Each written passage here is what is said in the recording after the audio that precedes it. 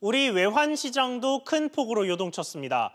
금융 당국에서 개입 가능성을 시사하면서 일단 진정되긴 했는데 왜 중국과 미국 사이 분쟁에 우리나라 환율이 이렇게 요동치는 건지 류정훈 기자가 알아봤습니다. 외환시장은 미국이 중국을 전격적으로 환율 조작국으로 지정한 게 알려지면서 종일 긴장된 분위기였습니다. 개장 초 원달러 환율은 4원 70전 급등하면서 달러당 1,220원을 돌파했습니다. 금융당국이 위안화와 원화의 동조 현상이 지나치다며 개입 가능성을 시사하자 진정세를 보이면서 전 거래일과 동일한 1,215원 30전에 마감했습니다. 미국의 중국에 대한 환율 조작국 지정은 지난 1994년 클린턴 행정부 이후 두 번째입니다. 중국의 위안화 가치가 시장의 심리적 저지선인 달러당 7위안을 넘자 트럼프 미국 대통령이 이를 환율 조작이라며 맹비난한 데에 따른 후속 조치입니다.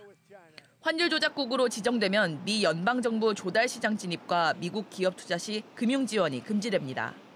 또 국제통화기금 IMF를 통해 환율 압박에도 나서게 되는데 스티븐 무누신 미 재무부 장관은 IMF와 협력해 중국의 불공정 조치를 없애겠다고 밝혔습니다. 이에 따라 미중 간 무역 전쟁은 전면전으로 번질 것으로 보입니다.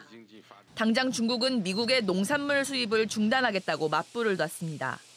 문제는 우리나라의 대중국 수출 물량 중 상당수가 재가공을 거쳐 미국으로 가는 중간재라는 것입니다. 신흥국 중에서도 유독 우리나라 원화의 화폐 가치 하락이 두드러지는 이유입니다.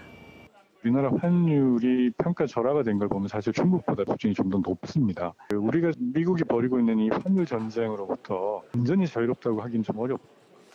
미중 무역 전쟁이 환율 전쟁으로 비화되면서 세계 금융 시장에 적지 않은 파장이 일고 있습니다.